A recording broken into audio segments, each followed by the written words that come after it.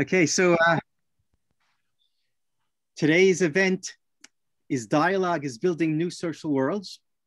We have with us uh, Dr. Muli Peleg, who's not only a, a well-respected academic, but he's also a friend of Roots and a, a, friend of mine. I think we met three years ago in New York, perhaps it was three and a half, even four, who knows, who's counting. Uh, Muli invited Roots speakers to speak on his campus in the US. I think that was at Fordham uh, two, yes. Fordham two years ago. And uh, Muli also spoke, I guess, two years ago, minus a month, at a Roots uh, Iftar, a uh, breakfast with uh, at the end of the day during the Muslim month of Ramadan when the Muslims are fasting. I think we had like 60 or 70 people there, uh, Jews and and Muslims, perhaps a smattering of Christians. And we heard Muli speak a little bit there, uh, but we want to hear more, much more. I'll just tell everyone that unfortunately we have another Roots event, another 20 minutes, which I have to get off the call for. So Shaul uh, is here to uh, make sure things run smoothly and uh, moderate. So I just want to read part, a small part of Muli's biography. He's now just recently appointed to be the director of the International School at Oranim College in the north of Israel.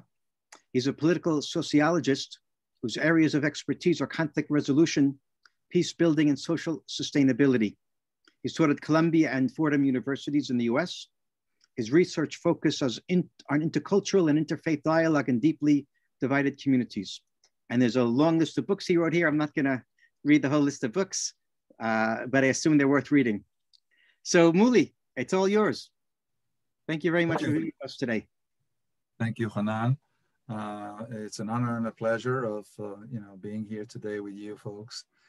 And uh, as Hanan mentioned, uh, we met um, I think uh, 2019, one of your rounds, uh, fundraising fundraising round, and it was um, dinner with um, friends of ours, and immediately we hit it off. And um, I am alongside with my academic career.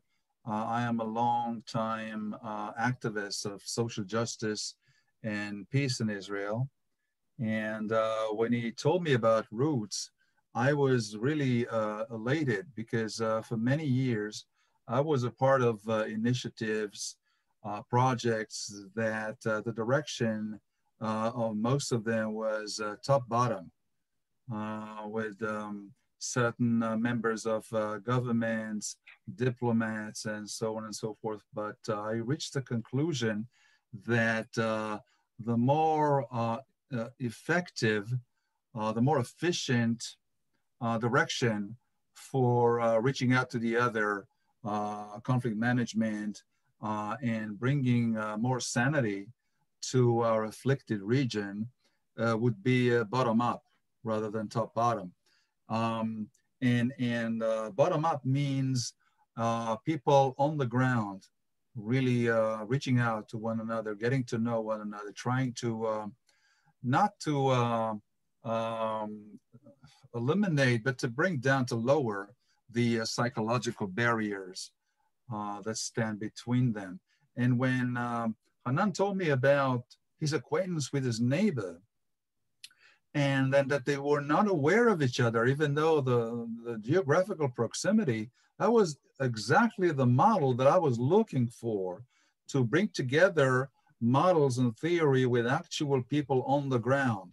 And, and I believe that something that uh, grows, that is cultivated from actual needs on the ground is much more germane, authentic, um, and therefore has much more prospects of, uh, of survivability, of sustainability, uh, rather than shifting interests of policymakers or uh, you know self-redeemed profits. Um, this is much more genuine, and it immediately uh, captured my uh, attention and my interest, and we started collaborating. Um, and, and this brings me to what I want to uh, share with you today, because I've been um, in this uh, craft of uh, dialogue, of uh, bringing together opposites in order to create a new future, which uh, benefits all sides. I've been in this um, since my university days. I, uh, my BA was from the Hebrew University uh, in the late 80s, uh, tumultuous times in Israel. Scratch that. There are always tumultuous times in Israel, but the latter half of the 80s, uh, there were lots of demonstrations, um, violence in the streets, um, and they really scratched me. And um, uh, I had a vivid memory of those days. These were my forming years. Um, that was right after my military service, and uh, I uh, I was really committed to uh, try to understand the other, other with a capital O, and I became aware of the othering processes and dynamics. Um, so um, uh, on both with parallel path, I started um, uh, studying uh, my areas of expertise became radicalism, extremism, political violence, and then what to do with it. This is diagnosis and prognosis. Now that you know that those uh, uh, elements are uh, out there, what do you do with it? And that led me to conflict management and to dialogue.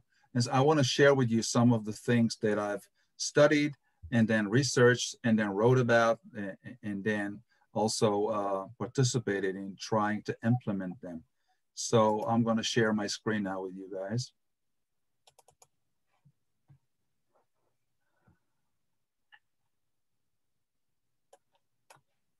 Can you see that? Yes. Good. Go to presentation mode.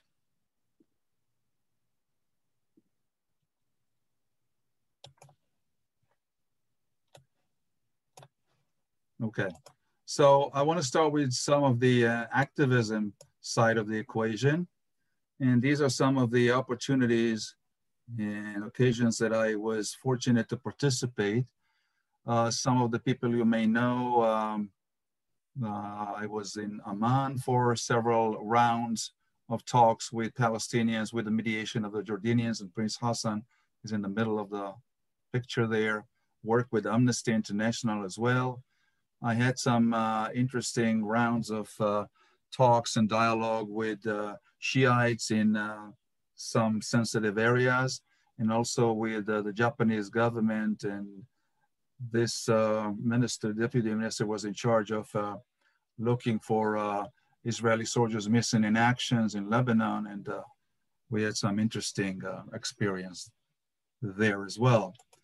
Some of the people, the dignitaries that I got to know, some of them became close friends of mine and I am of there. Um, Yossi Beilin at the top left there, the mastermind of the Oslo uh, the, uh, agreements, Jason Alexander, who uh, uh, was one of the founders of the One Voice movement, Laurie Anderson there down on the right bottom. Um, she is a, a, wonderful singer and composer and a human rights activist from New York. And of course, Martin Luther King III, uh, which I brought him to Israel several times we did some interesting things, again, between Israelis and Palestinians and between uh, Jews and Arabs within Israel. And of course, in between my activities, uh, I go back to my cocoon, to my uh, university, uh, where I try to spread the word of uh, dialogue, the benefits of dialogue, uh, some of my classes there.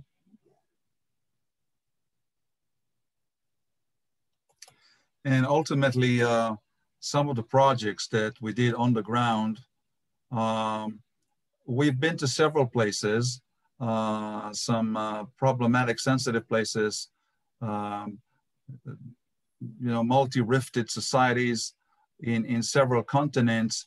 But these are the two that I take the, the most uh, pride. Ramle, when we did a project between Jews and Arabs in this, in this fascinating town and also in Zanzibar where we had a major problem between uh, the Tanzanians and the, and the Zanzibarians. I'm not going to get into this, but uh, whoever is interested in this, I published a chapter uh, with regard to what we did there. And again, that was sponsored by uh, the American government uh, during uh, the Obama administration. And again, we tried the new uh, form of dialogue that I'm promoting in, in uh, Oranim as well, which is called CMM. I'm going to touch upon it uh, very soon. So we have to find out what is the concept, what is the meaning of dialogue. And we have to do that because uh, there is a lot of misconception and misinterpretation about what dialogue is. And in order to understand what dialogue is, I would like uh, to start a short and brief journey with you. Um, and together we'll, we'll, we'll try to understand what dialogue means. So dialogue, the context for dialogue is really conflict or misunderstanding or, or lack of communications. That everything uh, being okay, there would not be a need for dialogue. Um, so one of the most uh, prevalent uh, and most familiar um, um, theory of, of conflict is the structure of conflict. And uh, the uh, gist of it is the conflict triangle that every conflict, every conflict in the household, um, in, in, your neighborhood, in the education system, between countries, between civilizations, has three components to it. The situation or the context or the background that uh, gave birth to this conflict, and then the attitude of uh, each side to the other, uh, usually a demeaning um, attitude, uh, vilifying and trying to uh, bring down the other side, and that leads to behavior, all kinds of uh, behavior during conflict. So this is the conflict triangle and how it leads us to dialogue through conflict management. Conflict management is not a necessity um, we don't have to go into conflict management. Only if you feel that the conflict does not serve you, you continue to conflict management. And I say conflict management rather than conflict resolution. Conflict resolution is, I think, in my opinion, too presumptuous. Conflict is pretty imminent uh, and is with us because people are different. The variance creates the conflict. And the question and most of the effort should be focused on how to cope or how to grapple with the conflict and not try to eliminate it. And therefore, I think conflict management is more accurate and more feasible and doable than conflict resolution. Well, managing conflict is really what is the management? The management is to uh, try to move or to shift conflict from destructive to constructive. And how do we do that? Well, we go back to the triangle. This is why I started with a triangle, changing the component of the triangle. What does it mean? Well, we have to uh, push the behavior of conflict to being more tolerant, more empathetic, more restrained. The attitude, the other uh, axis, from enemy to partner, the image of the other should be shifted from our enemy or our menace or our challenge to our partner. And the situation that yielded the conflict, we should identify, we should detect the circumstances that brought this conflict to begin with and change them, amendment, amended them so that the direction would be conflict management and a new reality. And for all these components, the most important thing is communication with the other. And here we usher in the concept of dialogue. All those things seem reasonable, rational, but they are very difficult to obtain. They're very difficult to come by. Uh, because, for example, when we are upset and we are angry and the conflict is continuing and ongoing, we fall back on the behavior which is not empathetic, unrestrained, and intolerant. And we need an image of, of the other as an enemy to justify our mobilization and our zeal. And then we justify our zeal by pointing out all kinds of uh, circumstances in the situation that merit our attitude and behavior. So it's a kind of a self-fulfilling prophecy and therefore we get used to it very quickly and hence it's very difficult to get out of it and shift it but the key is communication with the other Now, when we talk about communication patterns, there are really grosso modo two paths here, indirect talks and direct talks. Indirect is really third side, and we uh, turn to indirect talks when we cannot communicate directly because there is animosity and suspicion and hatred, lots of uh, walls that are being built during conflict. And there are different types of uh, indirect talks. Uh, you're probably familiar with them, facilitation, mediation, arbitration, and more. These are the three more prominent ones. And the difference between them is the amount of power and discretion that the third side exercises. And again, I'm not going to delve into this, but if you have specific question, please don't hesitate to ask me because I want to focus on the direct talks and the direct talks are negotiation and dialogue. So here we zero in on where dialogue is awaiting for us. So many people, many folks uh, out there uh, think that negotiation and dialogue are the same thing. Well, they are not. More than this, they are opposites of each other. Why? In what way? Well, let's see what is not dialogue. And I have to specify it because there, as I said before, a lot of misconception and misinterpretation about dialogue, and people use it loosely and freely. And many of them just don't use it correctly. And most of the policymakers don't use it correctly, which is sad and painful. So, what isn't a dialogue? Well, as you see here, hostility, disrespect, and delegitimation of the other has no place in dialogue. A focus on symptoms, procedures, and technicalities is not the dialogue. Vindictive, preconceived notions, generalizations in dialogue, they are left out of the room.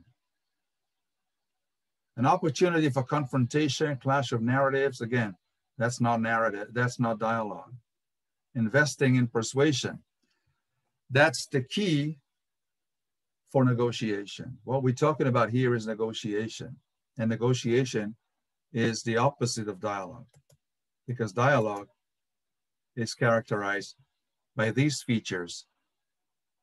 And you see every, every one of those features matches the features of the non-dialogue. Dialogue is based on tolerance, dignity, inclusion, and I have to add equality. Without those precepts, without those principles, dialogue may begin, but it's doomed for failure. It has to be based on these principles. But dialogue is a discussion not on symptoms, but on root causes, on values and norms. This is frightening. This is daunting for people to deal with because it might change some of the key concepts about themselves and about the other and therefore dialogues are rare. Dialogues are open and transparent in nature.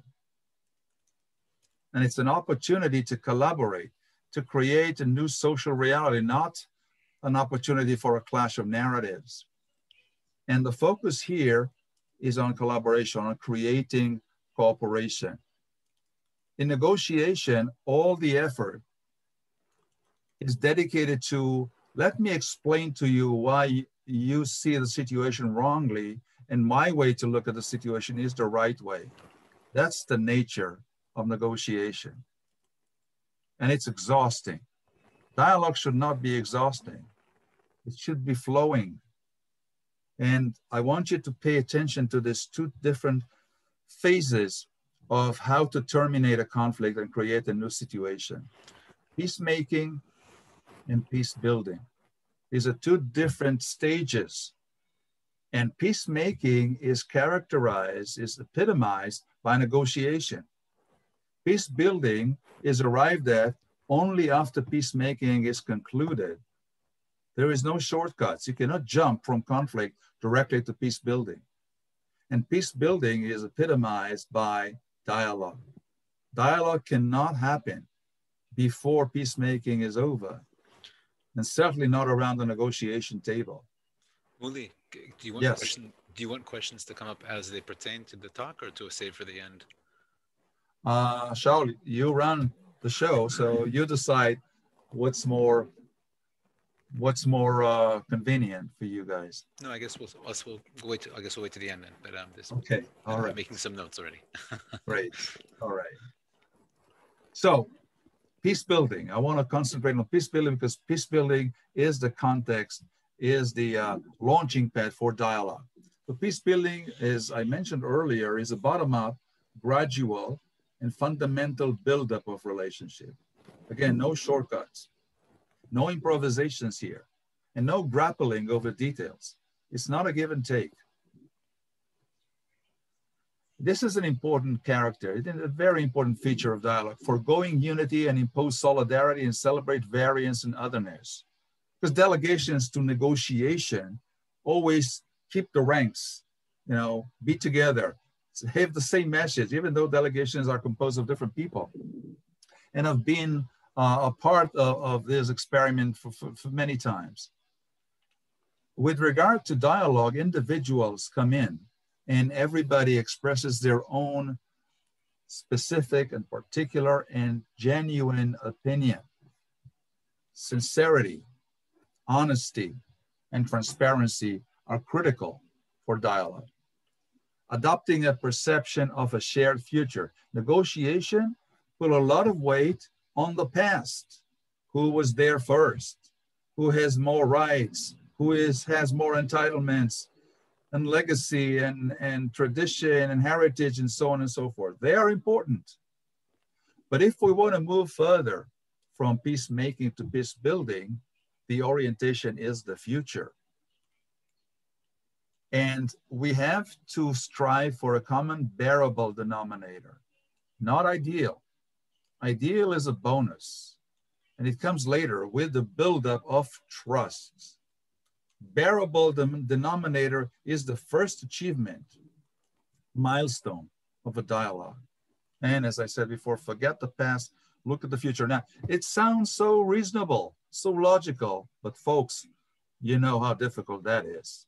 Because each side to every conflict in human history, total human history, always grab for some kind of, uh, or some piece or some chunk of history in order to feel vindicated, in order to have an advantage in this confrontation. In dialogue, we are past this.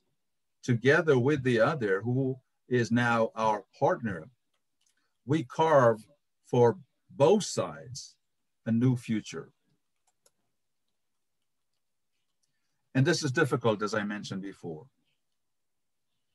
Because unlike peacemaking, when we deal with all kinds of technicalities where the uh, forces uh, stay, what is the size of this, where the lines are going to be drawn. This is what I refer to as technicalities, not undermining them, but just characterizing them. Here, we're talking about much more, you know, sensitive issues such as uh, identity, such as honor, such as uh, status. Well, here's the thing, and this is from my uh, political sociologist hat. Many groups, you know what, most groups, families, communities, nations, cultures, civilizations, and whatever is in between, build often build their common identity less on what they are and more about what they are not. And for that, they need somebody to contrast themselves with. They need to put someone, another nation, another religion, another culture, another family, another neighbor, to occupy that space in order to demonstrate to themselves and to the people around them why we are better than them. If there is no the other, how can we do that? It's all white on white. There is no contrast. Now in dialogue, we let go of that. In dialogue, that square of the enemy, of the menace, of the, you know, the constant threat is gone. He is with us in the room. He, she, they, they are our partners. So we need to go in into ourselves in order to ascertain or recreate our common identity. That's very daunting.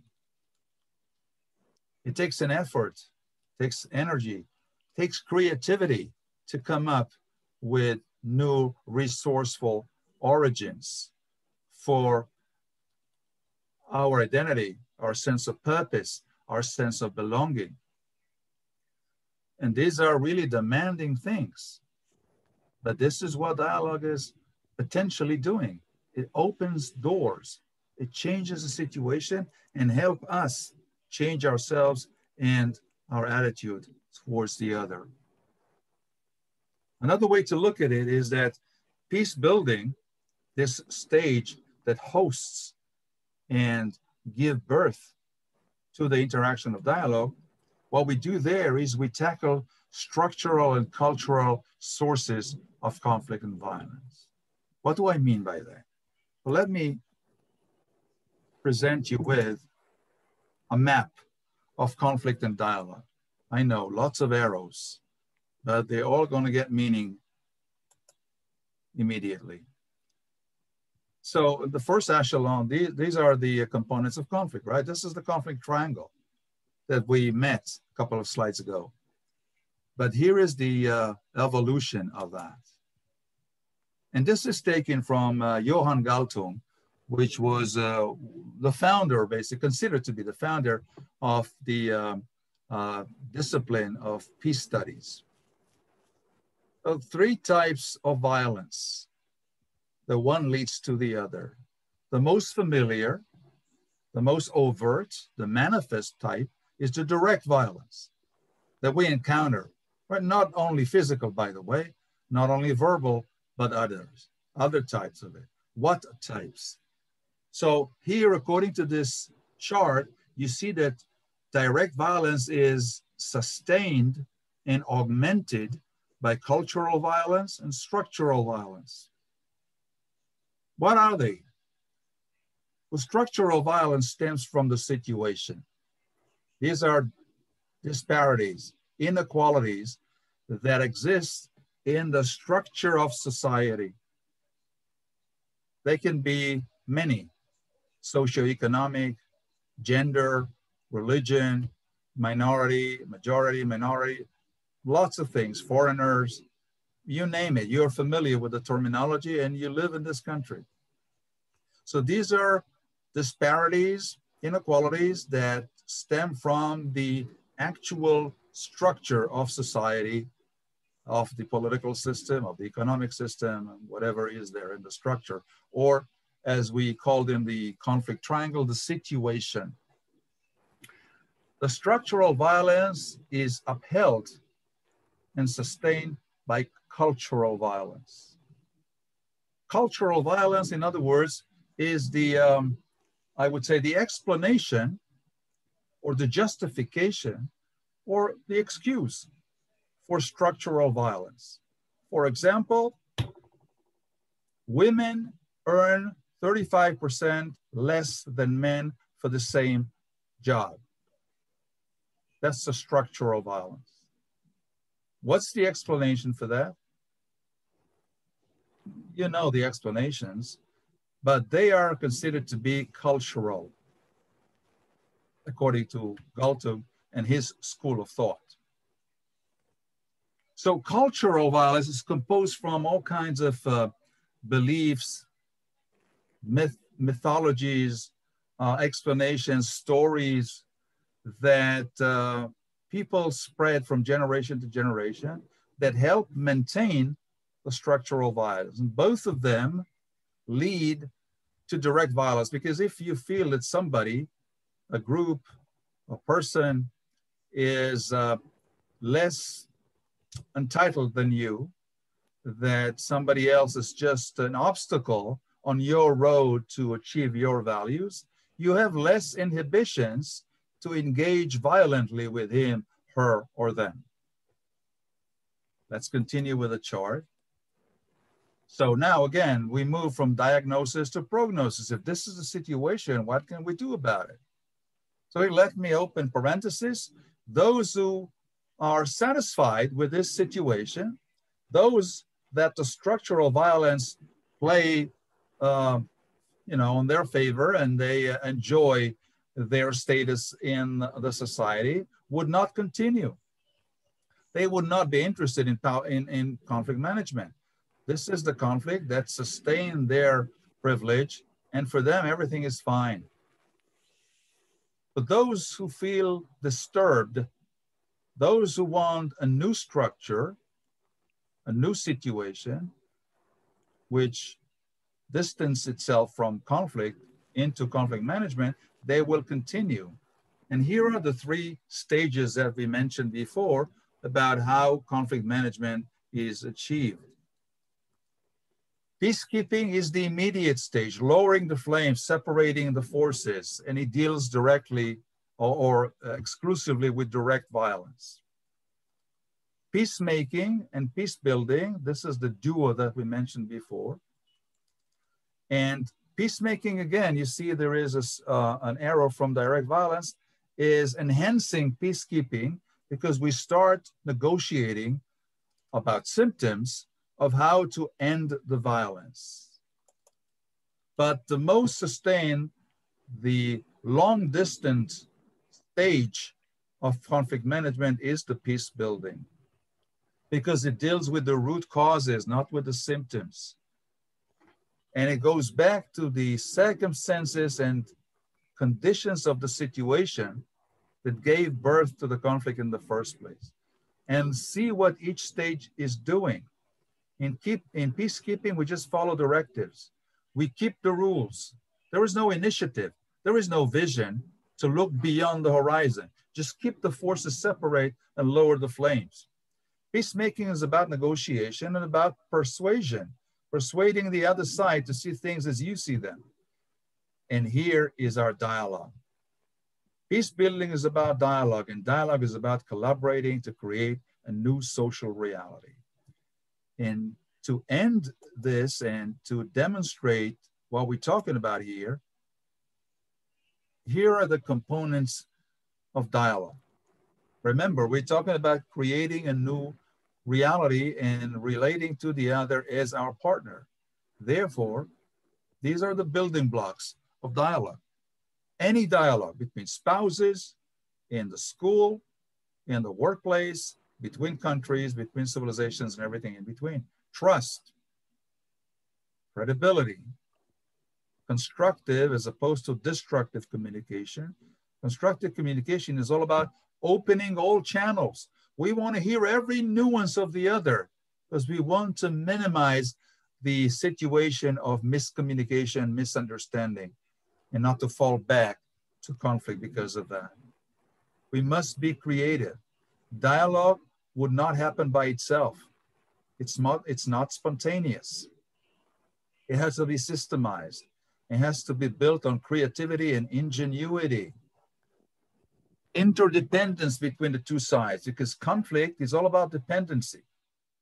Sorry, a conflict is all about in, independence. Why? because we believe that we can solve the problem on our own. That's the independence. The other is not a partner. The other is an obstacle. And therefore, we need to move it. That's the audacity of independence. We can solve it without any dependency on others. But dialogue is all about interdependence. The other is not an obstacle, it is a partner. And if we want to go to a better place, we have to be interdependent on the other. And it takes, and this is the difficult part of it, mental and psychological change of image, of attitude, of opinion. First of our own, we have to treat our own image differently. Second of the other. And third, the most important thing, the relationship between us and the other and finally, the most important component of dialogue is optimism. Pessimists would not partake in dialogue. Dialogue relies and is cultivated by optimism. Uh, I want to open it up. Um, uh, the last slides that I have are about my uh, experience in Ramle. And uh, Ramle was one of the projects that we tried to implement a specific type of dialogue called CMM, which is acronym for Coordinated Management of Meaning. And the, the, the gist of it is really creating a new reality together, conjointly, where we leave all our general, generalizations and biases and prejudice outside the room. Very difficult thing to do in, on its own right. And there are various practical and doable models to do that. Uh, as you see here, the DAISY model and Serpentine model and so on and so forth. I'm going to share with you. Um, I, Shaul, everybody's going to get uh, this presentation um, and they can read it on, on their own leisure. But just, I want to share with you one of those models. And this is what we did in Ramle. Because the most important thing in dialogue is, as I said, communication. And we need to understand where the other is coming from and to uh, really open the messages that we hear and to understand why they are being said and why they're being said in, in that particular way. And we have to move all our prejudice and all our uh, lenses aside and, and totally be open to them. So here is an example. and this is why we call it the DAISY model. Um, so we started to, talking about the delicate situation of Ramle. And in red, these are what the, the, the Jewish participants, we had a core group of 30 participants, uh, half Jewish and half uh, Arabs, Muslims, and Christians, and, and Bedouins as well. And among the Jews, there were um, seculars and religious, uh, right wingers, left wingers, microcosmos of the Israeli society. So in red, these are the Jews participant, the Jewish participants, and in, in blue, the Arab participants. So, for example, I am Jewish, I'm Palestinian, that's self-identity. Uh, we were here first, we were here first. Uh, the Jews uh, took pride in saying that the Ramle is a model mixed town. The Arabs of Ramle were much more hesitant about this. Um, the Jews of Ramle said it's an equal opportunities uh, town. The Arabs were uh, of different opinion. Uh, when we talked about 1948, that was uh, explosive, of course. The Jews looked at it as liberation, the Arabs as occupation. Uh, but the last battle uh, was really reassuring because both were very adamant and, and care a lot about the reputation of the, of the town. They agreed on that. And ultimately, after a couple of months that we had this uh, CMM uh, intervention and workshops and they got to know one another and, and trust began to build, they changed their identity. At first, the questionnaires that we gave them before the intervention began, they identified themselves as far away as possible from the other. I am religious Jew and I'm a Zionist and the Arab said, I'm a Muslim and uh, I um, uh, support uh, freedom movements, uh, and, you know, even some with uh, Hezbollah and Hamas. Bit by bit, as they got to know each other and we dealt with um, reaching out to the other and, and, and models of understanding, the uh, identity changed. And in the last questionnaire that you, we gave in the last week, the first parameter, the first criterion that they identified themselves, everybody wrote, I'm a ramlian And all the uh, exclusive, uh, exclu uh, mutually exclusive uh, components of the uh, identity uh, were either gone or brought down to third or fourth place. So was, that was an immediate change, an immediate impact. Lastly, before we open it up, these were the indicators of measurable impact that we used in the Ramle uh, project. Change of attitude that we noticed, as I said before, from negative to positive opinions, attitudes, and images of other. Change of identity, exclusive affiliations, we move from exclusive affiliations to shared identity. And lastly, in order to test this outside of the room, we ran public activities that were habitually done separately in Ramle, such as excavations. And now, after our intervention, they began to uh, administer it collaboratively. So there was an impact. The only drawback is that that project was sponsored by Columbia University, and uh, we had to uh, terminate it after six months. Now, no dialogue is happening in a vacuum. So the most important thing I think for dialogue to succeed, to ultimately succeed, is consistency. Consistency. It's not a touch and go thing. The dialogue, genuine dialogue, is an ongoing affair. It can be arduous. It can be uh, sometimes exhaustive, sometimes frustrating. One step forward, four backwards, but it has to continue all the time. These are relationships. This is not just an enterprise of a touch and go. And dialogue is not getting into a room with somebody who thinks differently, have a good atmosphere, listen to some music, have some biscuits and drink some tea, and then go home. That's not a dialogue. Dialogue is an ongoing and frustrating, but ultimately the only key for real and genuine change. Take it away, Shaul.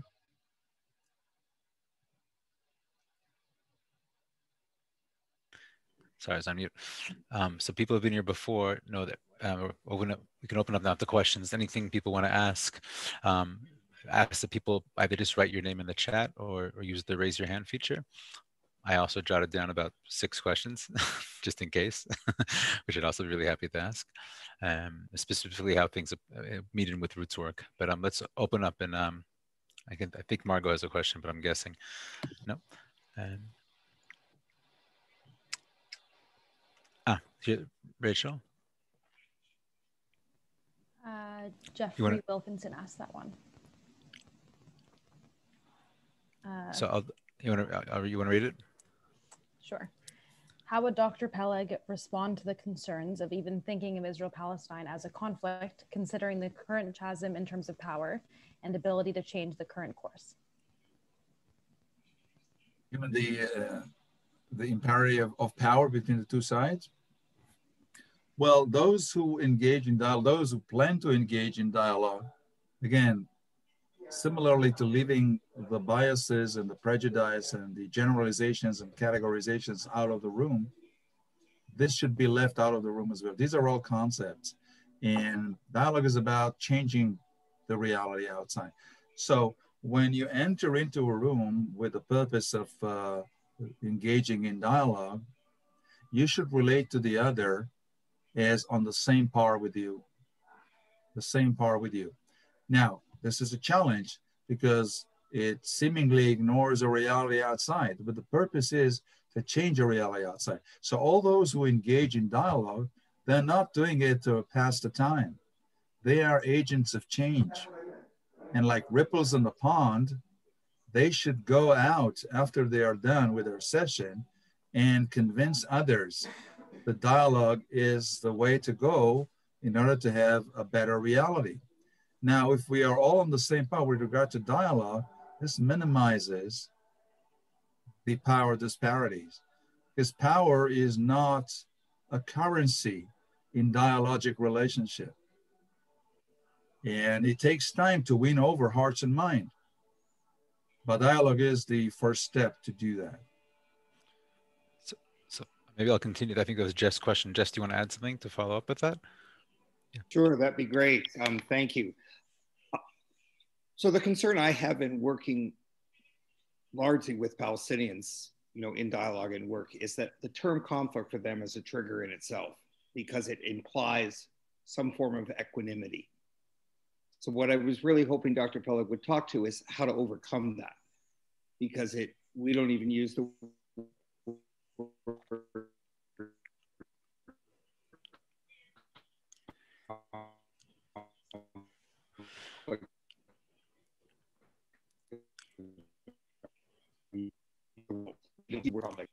Yeah, wait a second, Jeff. We didn't hear that part. Maybe if you okay. keep the video off and say it yeah, again. Though. Yeah, yeah. Thank you very much. I'm sorry.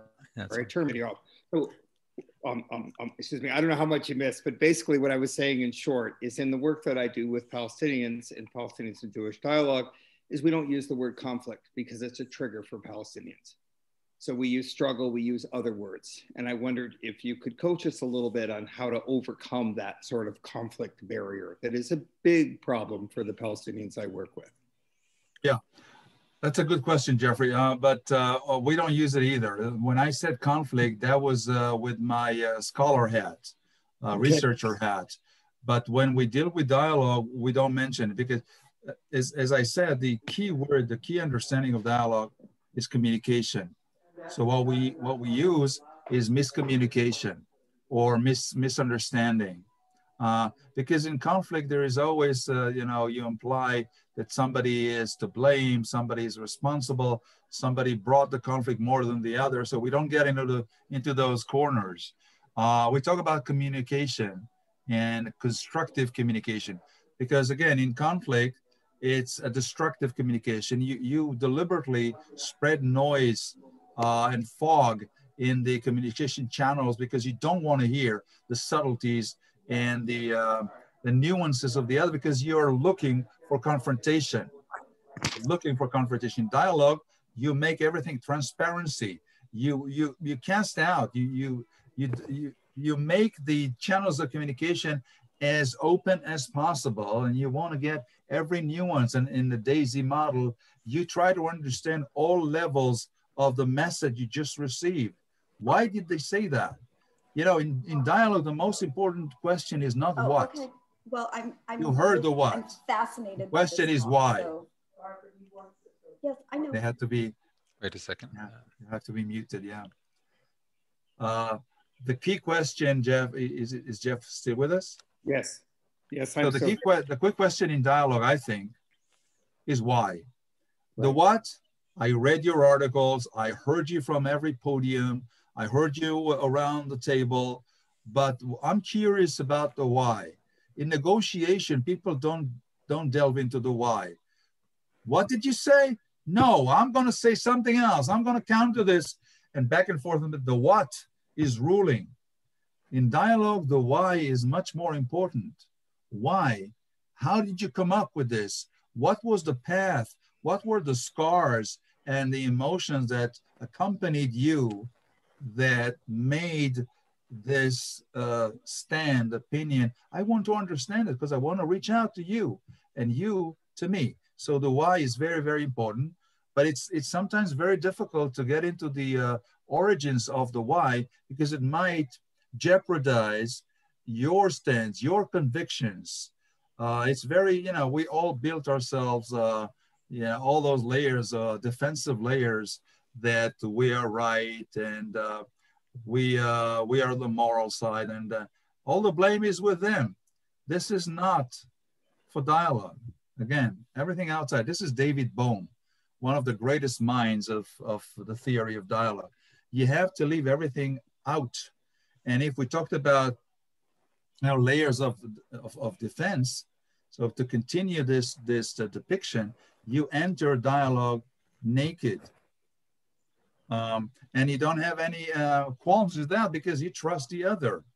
He, she, they are your partners. You build together things. You don't need those defensive layers on you because you don't feel threatened. Thank you very much. I want to ask the question that um, Dave, you want to ask a question about the structural violence? Yeah. Um, may I speak up? Yeah, yeah, yeah. Yeah, I was following along with everything, rah, rah, rah, really doing great. And then as you started to talk about structural, cultural, and direct violence, I, I started to feel resistive and a little bit uh, threatened. It was like, you're saying that all my structures of culture are acts of violence. And I'm thinking if you try to approach it in the same way as using the word conflict, you're going to lose a lot of people Again, this is part of the research and the scholarly hat. This is Johan. Yeah, okay, I understand that now. Yeah, but violence, look, violence is is derived from violation, violation of rights, basically. So if women get less salary for the same job, this is violation of rights and hence, according to, to Galtung, violence. So violence is much more rampant than just people shooting or hitting each other or cursing each other. Um, and uh, in every society, even in uh, you know democratic open societies such as the U.S. and Israel, there is structural violence. And what is the explanation? why do women why are women paid less well you know the the, the explanations the reasons you may accept them you may reject them but they are the source of the structural violence being intensified and sustained and cultivated further by the cultural violence that's galtung if you accept it or not you know, it's a narrative, it's an explanation. It's not a possession of the truth by any means, but it, to me, it makes a lot of sense. You know, words have meaning, and and and that's a it's a very powerful term, violence. It, yeah. and and and that's why I suggested, would it not be perhaps more uh, malleable in the part of the listeners to use a term like restrictions? and may, at least be. at the practical level. I mean, I wouldn't go into a dialogue and say, okay, here's all why your society is so bad and you're all violence and, and you, you, you, end of dialogue right there. Right, David. No, no, no. I'm not. I'm not using it. I'm not using okay. it around a, a dialogue, a dialogue table. Absolutely not. No, dialogue is also, you know, uh, eye level. So uh, teaching, lecturing, definitely not preaching you know, it's, it's not usable around dialogue. Uh, you, you, should not intimidate people. And if I come with them with a, this is Johan Galtung, no, no, no, that's not dialogic at all. No. And Dr. Muli, I want to, I want to read, Robin, do you read? I'll read your question here. You wrote it very well, so I'll just, I can read it. I feel it's very well. Um, but Robin has a PhD in communication. I, Robin, do you want to read it? I, I, can't, I can't see your face. It's hard to read. Uh, oh, sure. I'll, I'll read it. Yeah. Um, I, I just wanted to say, first of all, Dr. Peleg, thank you very much. Um, I have a PhD in communication and I, um, I studied CMM in graduate school. I teach CMM to my students. Really? so, yes. right. Um, Fantastic. so this is a, a presentation that um, it, it's just, it's engaged my soul and my, and my heart and my mind. Uh, so I, I truly, truly appreciate it. And I, I do understand the different languages that you're using in terms of, you know, you're talking about this more research and academically versus how you actually handle the dialogue. My question is specifically, as you talked about, this, this dialogue has to be ongoing. Um, can't, you can't just do, a, you can't just assume it's ever gonna end. Uh, and, and you probably know that as researchers, what the, the problem with studying CMM and seeing this kind of, of understanding and dialogue change over time is that we don't often know if the people who are involved in the dialogue are actually giving us real, if they're responding, giving us real information about, yes, my attitude has changed, or are they giving us um, like a Hawthorne effect, they're just telling us what they think we want to know. Because over time, they, you kind of figure out what, you know, what's the goal of this conversation. So I'm wondering in a situation that is just so critical, I, I really hope that there has been some evidence that the beha- that the the dialogue has led to true long-term attitude and behavioral change among the groups that you're working with rather than something that has just been affected by the facilitators who are there and you know uh, implicitly suggesting here's how we want you to see things for right now. Does that make sense? Do you understand yeah and it's an excellent question robin uh, and it's very difficult to answer because all we are all living in the here and now uh, we are manacled by our present. So, uh, and, and for dialogue to really take root and really culminate in an ultimate success, we need a breath of, uh, you know, uh, life experience. Uh, but uh, in baby steps, small baby steps, uh, this is exactly why we added the third dimension of impact in Ramla and also in Zanzibar.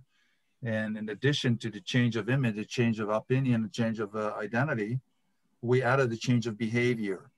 It's one thing to sit in a room and say, okay, you know, I see you differently now. And it's another thing to get out there, out in the open, out in the public, risking the image that you have in the eyes of your brethren or your prospective community and do things together with the previous enemy. This is what we did in Ramle, and this is what we did in, in Zanzibar uh, between populations that previously, um, uh, you know, they had um, uh, abyss of animosity and uh, suspicion, and we we saw it. Now, it could be that after we left, as I said, no dialogue is, is conducted in, in a vacuum, especially in the, uh, the reality in the state of Israel is so tumultuous, ups and downs, that uh, all those participants, those uh, valiant uh, and pioneering participants, were sucked into their prospective communities and dropped the uh, the new uh, images of the other. Could be, but um, you know, in the conditions that we had, Columbia University gave us a certain um, budget, and they were more interested in in uh, in me writing a chapter or writing a book than actual sure. change in the field. You know, it's an academic institution.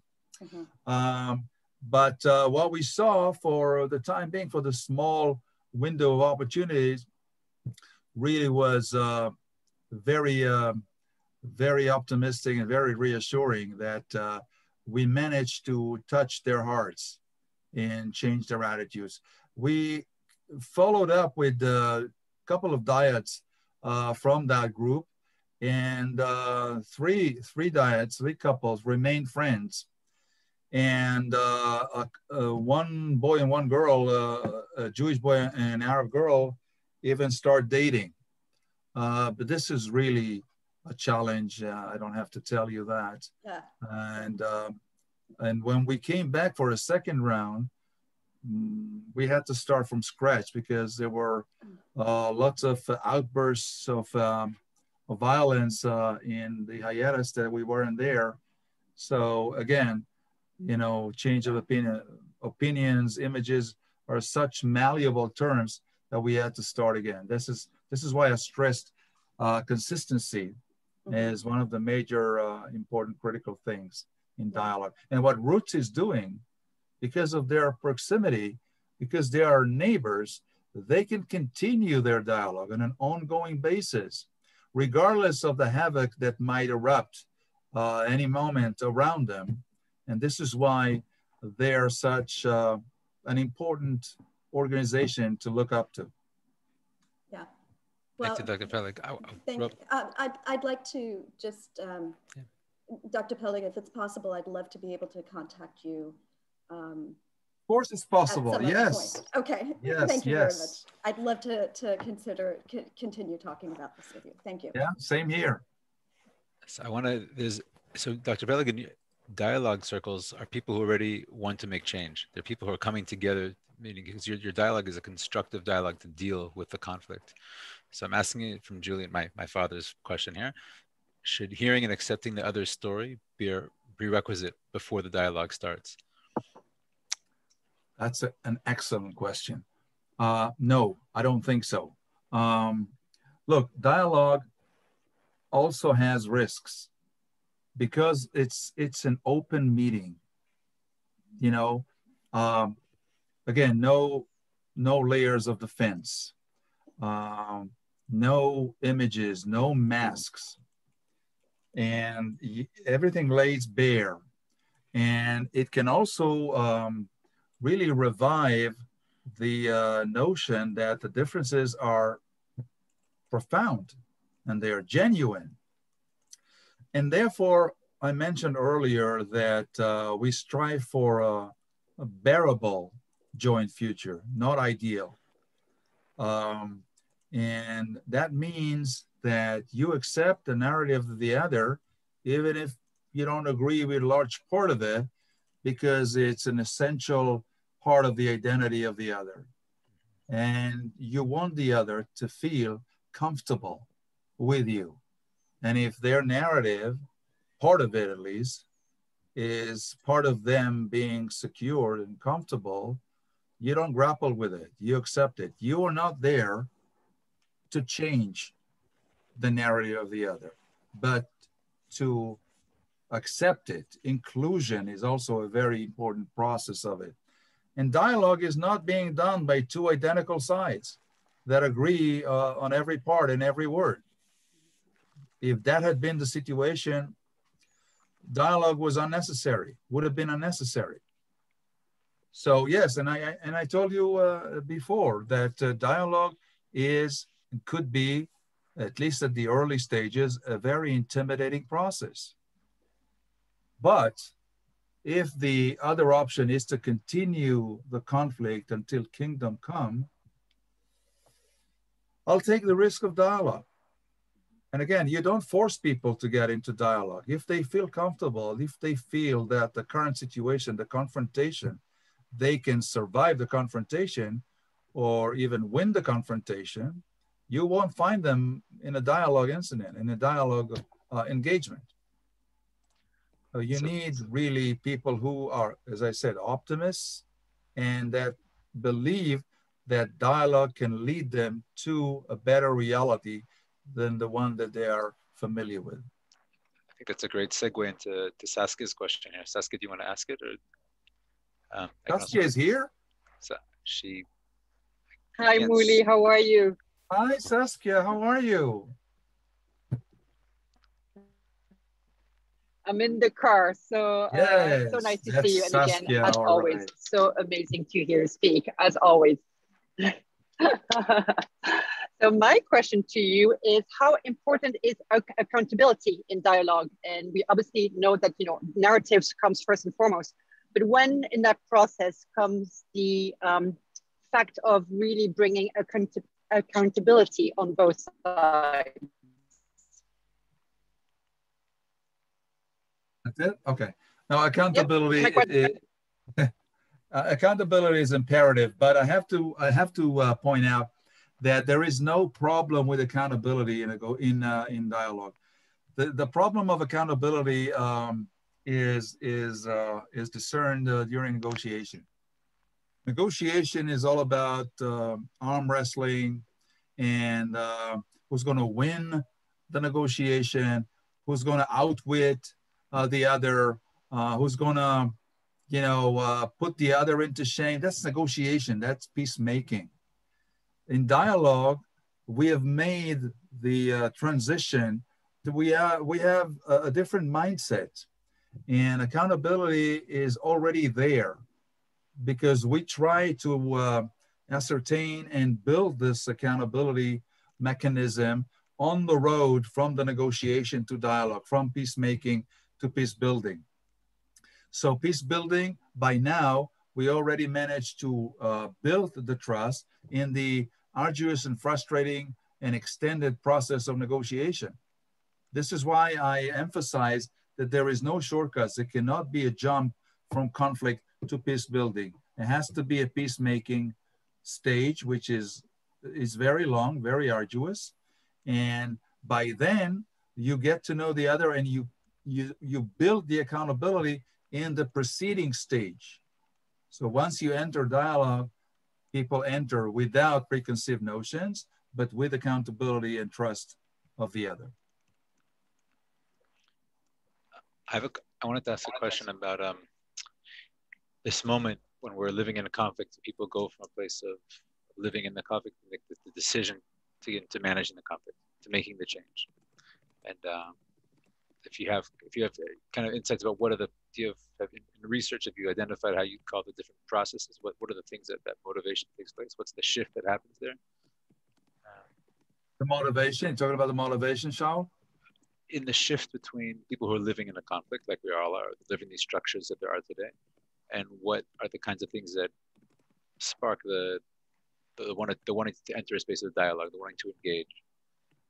Um, I just wanted if, if you have research that goes zeroing in on that those phenomena that that takes well i have to uh, again one of the misconceptions of dialogue that people are doing it mainly for for altruist reasons. That's as i understand it it's totally wrong. Uh, people have interests and interests motivate people.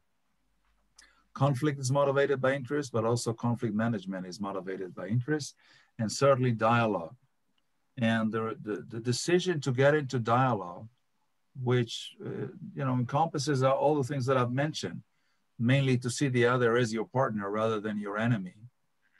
Manage to, uh, including self-image. You don't have all the justice and all uh, the truth in your in your side, and uh, there is no clash of uh, truth versus uh, versus wrong, but clash of two narratives. That's a very difficult uh, decision to make because people get comfortable with the truth. You get into dialogue because you understand that it serves your purpose and your interests, that you'll be better off around the dialogue table than uh, butting heads in, in the conflict or in the negotiation table. It's your own decision.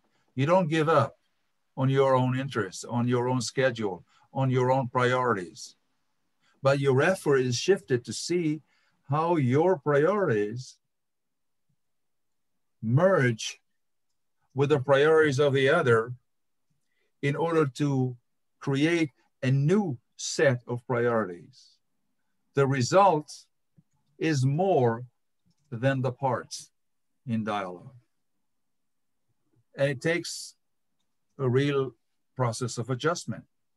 It's not a natural process, Shaul. It's not a natural process. Dialogue, that's a negotiation is a meeting between talkers. Dialogue is a meeting between listeners. You have to listen much more than you talk and express your opinion. You have to be very sensitive and attuned to the nuances of the other. And it also built, it, it is founded on reciprocity. It cannot and one be. One of the things we've seen at Roots, which I think, which I also like to hear your opinion about, is dialogue and negotiation are both front to front people speaking. But I think there's a lot of other actions that we take that can spark the people to uh, to get out of the zero sum game. If I just kind of boil down what you're just saying, people at some point, it's even though we're right, there's a reason we should talk to them. Even though our story is better, there's a, there's some kind of motivation, and I think for us at Roots, I found it's a lot of times it's the actions that it's the actions of the Palestinians that Israelis or the actions that Israelis do that the Palestinians see that kind of give the spark. And I wonder that's another field to I think to another aspect of the of the work here of peace building. Um, that's not in it's not in the words we say. It's in the it's in finding the this, the, the images we can present to challenge the other side's zero sum game. Um, and, it, and I think also those are effective because they reach well beyond the people who are in that mindset already that comes into the into the dialogue room. They have the ability to kind of transmit and show up in society in different ways. That, uh, that I think that's one of the things Roots at this point is is keenly after, is asking the questions: What is the thing that the Palestinian society does that challenges Israelis' conceptions of them, and vice versa? What are the you know, and how do we broadcast that into our local communities here? Yeah, you're right. I mean, dialogue is not a feel-good exercise it, it can be painful. It's exposing things, it's raising up things. As I said, we go into the root causes, not only symptoms. As dialogue is not about being nice, it's about being genuine. You know, there was one moment, one enchanted moment, Charles, when when you hosted me there at your at, at your gathering place and prayer time arrived. And I was the only one left there because I'm, you know, I'm secular and but I watched you guys. The, the Jews went to one side and prayed one direction, and the Muslims went to the other side of, and prayed to the other direction. And everybody came and you mingled. So you don't give up on the self. The self remained there very, very strongly so. You don't want to lose yourselves in the crowd. That's not going to be a real dialogue. Then you came back and everybody hugged everybody else. I was in tears, man. It was so powerful. It was just the gist of an authentic dialogue there. But dialogue is not all about, I'm telling you, it's not about hugging and drinking tea together and, and feel good about it and then go tell the guys that I've been to a dialogue event. That's not it. It's excruciating, but it's the right direction. It's the only right direction to terminate conflict and create a new reality that is good for everybody else. Muli, thank you so much. I think I, we're technically at a at an hour and fifteen, which is when we everybody's free to go when they need to. Um, but I want to thank you and um, thank you for reflecting. It's always great being in the field and hearing from the people who are thinking and you know and processing and looking at the scope and uh, reflecting back. Give me a lot of questions. I'll send you fast on. And uh, I imagine if you want to put your email in the chat, if anybody wants to follow up, pretty friendly yeah. crowd here. If anybody's yeah. interested in, in, following up on personal questions. Um, yes. And Charles, uh, there is a there is a recording, so uh, you can uh, you can send the uh, presentation to everybody who wants. Great. Yeah. Well, the recording, of course, will go up on the archive, and everybody here doesn't know there's an archive of all the past presentations. Everybody's welcome to uh, to check in there. Um, I say again, we had a, an amazing event today. It was incredibly inspiring to see the the 60 years at the closing circle, and um, I'll, we'll send some pictures up on the Friends of Roots on the Facebook. But um, if anybody hasn't had a chance to share, to, to donate or to share the to share um, with what's going on. We have actually a pretty.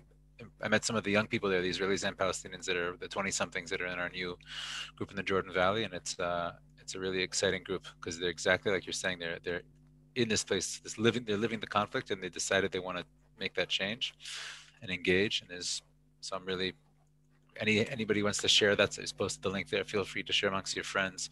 Um, we have another week of the campaign, and um, thank you. I'm gonna, if everybody's if everyone still hang out and can, can, can small chat in the in our little room here. Um, and otherwise, I'm going to say good night or good morning or good afternoon or good evening to all our respective time zones. And uh, to Dr. Peleg for sharing. Uh, thanks for everybody coming out tonight. Thank you. Be well, be healthy, stay healthy. Stay healthy. Joel, are the archives, are they all listed there or only selected